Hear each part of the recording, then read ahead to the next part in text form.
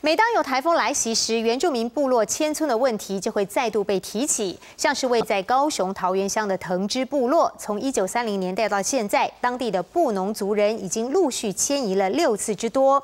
而在莫拉克风灾过后呢，政府免费提供灾民住进山下的永久屋，但是搬或不搬，却引发了部分族人甚至家庭成员之间的紧张关系。今天晚上十点钟，公视频道的记录观点节目，导演马耀比后的最新作品。就呈现了原住民迁村的矛盾与两难。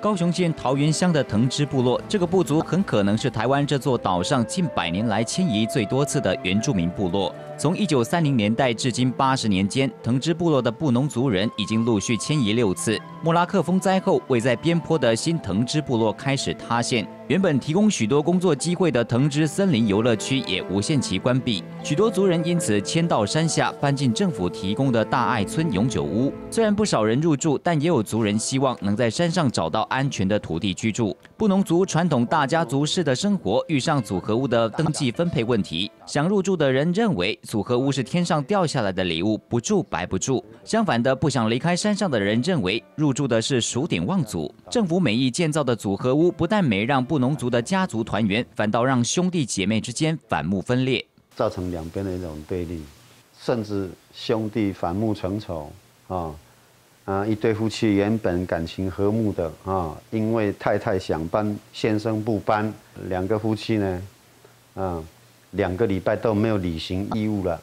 现年六十多岁的阿利曼，他的父亲、祖父、曾祖父都曾经是藤枝部落的头目。他很努力参与族人争取山上安居土地的行动，希望祖先的土地不会在自己手中失去。我们这些人都已经很少跟老人聊天，我觉得我们也很对不起他们。其实他们是，他们有这么多这么多的智慧，可是我们就太忙碌于我们现在的主流文化。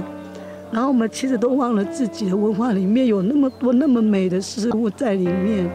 远离的家园，让人不知不觉忘却自己原本丰富的文化。这群企图找寻新栖地的布农族人，透过祭祖的活动，期待能够让风灾后的创伤远离，重新凝聚族人的向心力。记者综合报道。